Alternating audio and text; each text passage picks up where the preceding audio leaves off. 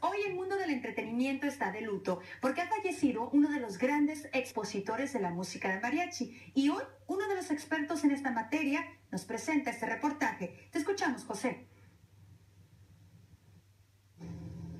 Siento muchas ganas de llorar, escribieron quienes conocieron a la legendaria figura que hoy enluta la música mexicana. Naticano, fundador y director del Mariachi Los Camperos, ha muerto. De la guitarra mía. Voz de la guitarra mía, le escuchamos cantar a Naticano y a sus camperos. Quiere cantar su alegría a mi tierra mexicana, nos decía.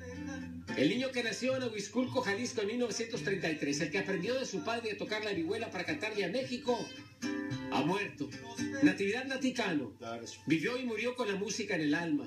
Y en su visionario recorrido por más de 50 años escribió la historia del mariachi en este país.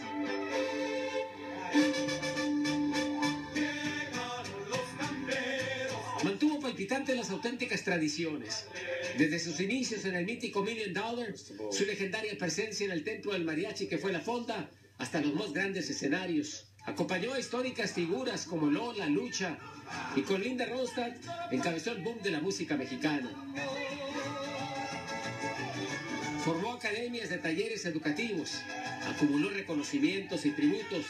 Aplaudido por presidente, su mayor logro fue que su querido México de afuera comulgara con sus camperos. Un aplauso para recibir al señor Cano.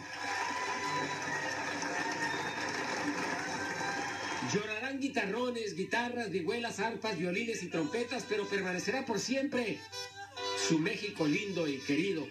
México lindo.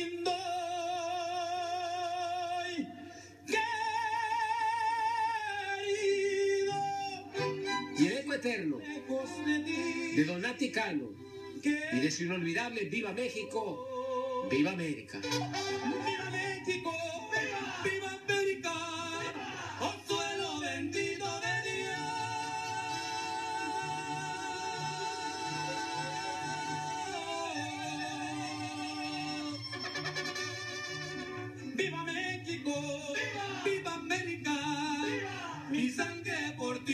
Aquí comienza.